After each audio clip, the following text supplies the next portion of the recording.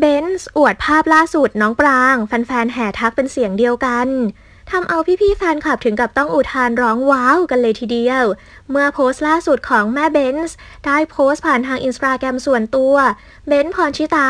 โดยโพสต์ดังกล่าวเนี่ย แม่เบนซ์ก็ได้โพสต์ภาพถ่าย moment น่ารักน่ารักของน้องปราง ลูกสาวในวัยสี่ขวบ ซึ่งสวมเครื่องแบบแบบเต็มยศ เตรียมพร้อมสำหรับการก้าวเท้าเข้าสู่โรงเรียนในวันเปิดเทอมวันแรก อีกทั้งสาวเบนซ์พรชิตายังได้ถือโอกาสนี้แนบแคปชั่นบอกเล่าความรู้สึกอันปลื้มปริ่มเมื่อได้เห็น look นี้ของน้องปรางในทำนองว่า ดูละไม้คล้ายกับตัวละครดังในวรรณกรรมเยาวชนระดับโลก อย่างเฮอร์ไมโอนี่ เกรนเจอร์จากเรื่องแฮร์รี่พอตเตอร์แบบสุดๆ ไปเลย เจอเฮอร์ไมโอนี่ที่โรงเรียนเมื่อเช้าค่ะ ขอแม่มาโนหน่อยนะ ให้ถักเปียไว้เมื่อคืน อยากผมหยิกค่ะ